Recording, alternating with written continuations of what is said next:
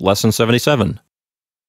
In the last lesson, we learned how to say our in Latin, which is the adjective noster, nostra, nostrum.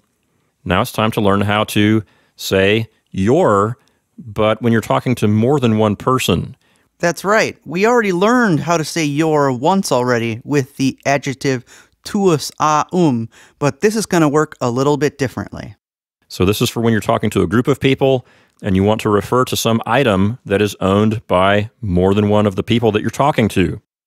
When I was a kid growing up in the South, we would use the term y'alls for this. Uh, like if you are talking to your friends and you see a car next to them, you could say, Hey, is that y'all's car? And it's very clear by using the word y'alls that you mean, Hey, does it belong to you people, you plural people? So in Latin, the way we say that is with our new adjective for this lesson, vester, vestra, vestrum. It's another first and second declension adjective. It's very easy to use. Use it just like any other adjective.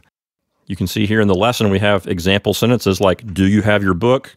So the idea of your book in Latin, if it's just one person's book, you'd say liber tuus, but if you want to say y'all's book, a book that belongs to more than one of the people that you're talking to, you would say liber vester, y'all's book. Okay, so it's important here to know the difference between tuus tua tuum and vester vestra vestrum. One is singular, one is plural. And that's why I do this silly business in this book of using the word y'all, not because uh, I want you to speak like a southerner, but just to help you keep track of the fact that one is for when you're talking to one person and one is for when you're talking to multiple people to help you learn the Latin, not to help you learn the English.